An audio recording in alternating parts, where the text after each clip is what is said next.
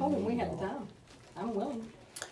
It, you know, I'm, this sounds wrong, and, and, and there's no happy reason to ever remove a leg.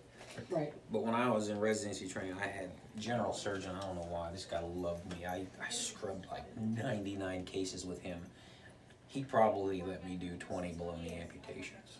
I mean, he would just stand there. He's like, he was from Cameroon, thickest accent in the world, and uh, he is. He said, my motto is simply you see one, do one, teach one.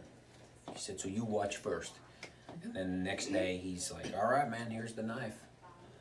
I was like, "Are you kidding me?" He's like, "No, you you saw me do yesterday. You do today." I'm like, "All right," and you just go straight across, down the sides, around the back. You saw it, clamp it, tie the blood vessels, bring the muscle flap up.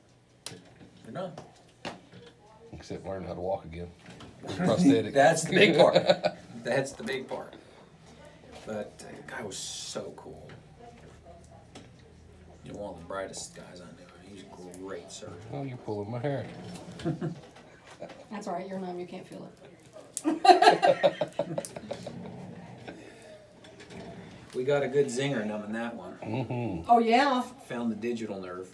Oh, nice. He was doing it on purpose. yeah. Somebody pissed him off earlier. It was Robin. It wasn't me. yeah, I'll throw. I'll throw my coworker under the bus. I better behave. I was getting ready to start.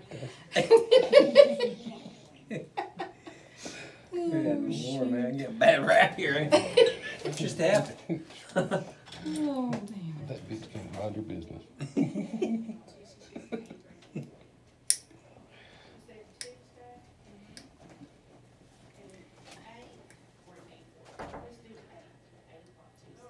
I wish I could have this lineup of patients every day. Oh. Everybody so far has been as pleasant, fun.